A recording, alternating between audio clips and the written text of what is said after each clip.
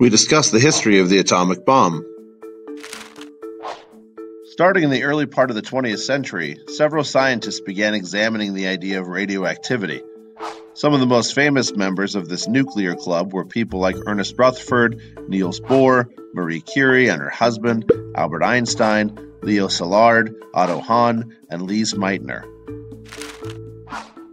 By 1908, Rutherford announced that he had found the alpha particle, which was identical to a helium atom. It's the particle that is released in all radioactive substances. By 1911, he was able to see and describe the nucleus of an atom. Over the next few decades, the scientists began to ask new questions like can we split an atom, a process known as fission? What element would yield the easiest split, and what element would split and give the most amount of energy?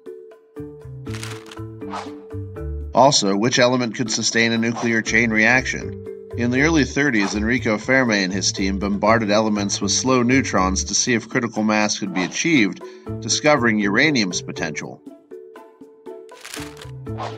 In 1938, the first successful fission experiments were performed by Otto Hahn of Germany and Lise Meitner, who was hiding from the Nazis in the Netherlands.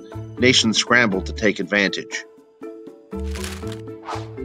It was also in 1938 that Hitler began his aggressive moves on his perceived state enemies and on his neighbors, which concerned the global community. Many of the Jewish nuclear club scientists, including Szilard, Einstein, Meitner, and Fermi, who was married to a Jewish woman, slipped out of Germany, Italy, and Austria. Hitler put Heisenberg, Hahn, and others on the project to develop a sustained nuclear reaction, and also to create a heavy water reactor.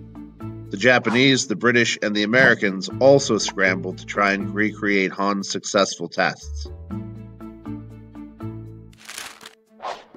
The scientists in America, which included many of the escaped scientists, were able to create uranium 235 isotopes, which were found to have the best capability of fission. That was until 1942 when American chemist Glenn Seaborg bombarded uranium 238 and discovered plutonium 239 which was more explosive, lighter, and easier to produce.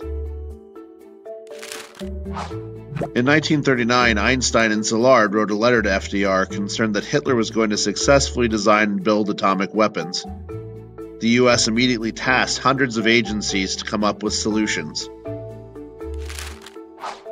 After Pearl Harbor, all coordination was moved to the University of Chicago, and an official alliance was made with the British and Canadian work. It was labeled the Manhattan Project. The science work was led by Fermi, and in 1942 they created a 4.5 minute nuclear chain reaction under the stadium at the university. The Germans were delayed at this point as materials were being prioritized for the war. Also, due to the fact that British and Norwegian commandos launched several successful sabotage and bombing runs against the German heavy water plant in Norway and in the end, the Norwegians sunk the German ship that was attempting to move the heavy water from the plant. Elsewhere, the Japanese had authorized work on their atomic bomb in 1941 under the leadership of Yoshio Nishina, who had worked with Niels Bohr. Their progress was also delayed by the war. The Soviet Union had also been delayed by the war and the Nazi invasion, but after Stalingrad turned the tide in 43, the project picked up steam under Igor Kurchatov. And in the United States, the Manhattan Project was put under Colonel Leslie Groves.